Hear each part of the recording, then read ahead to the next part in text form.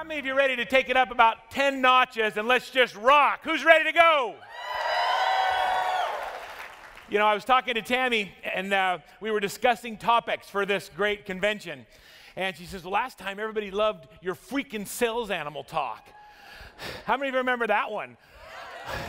I know you do because I walk down the halls in downtown Disney. People are like, freaking sales animal. I'm doing that. I love that.